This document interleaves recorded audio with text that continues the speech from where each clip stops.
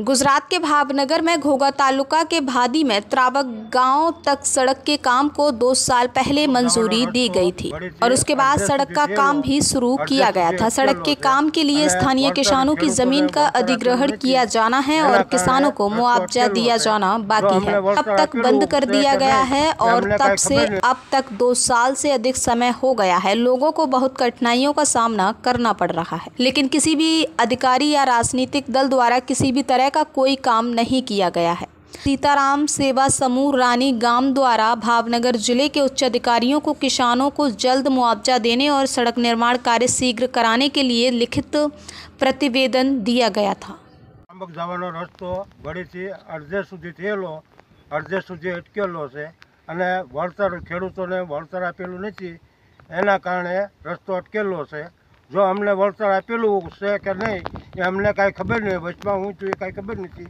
બાકી અમને વળતર આપી દે અને રસ્તો ચાલુ કામ, રસ્તાનું કામ ચાલુ કરી દે, તો અમને કાંઈ વાંધો નથી. અમને વળતર મળવું જોઈએ.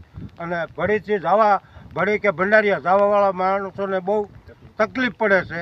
અહીંથી ક્યાંય જવાય એવું જ નથી. આમ ફરી ફરી કોબડીથી જવું પડે છે અને આ રસ્તા બધા બંધ છે. તો આ જે કામ રસ્તાનું અટકેલું છે, એ અમને વળતર આપે અને કામ ચાલુ કરી દે તો અમારે કાંઈ વાંધો નથી વાડીએ જવાની માણસોને બહુ મુશ્કેલી પડે. તો રસ્તો થઈ જાય તોય તે સારું. વળતર આપે તો શરૂ કરી દે કામ. બસ અમારું એવું કામ, કહેવાનું કામ છે. બીજું કાંઈ કામ છે નહીં. અમને સરકારને વિનંતી કરીએ કે અમને વળતર આપી દે જલ્દી ને જલ્દી અને કામ ચાલુ કરી દે. જેમ બને એમ જલ્દી. બરાબર?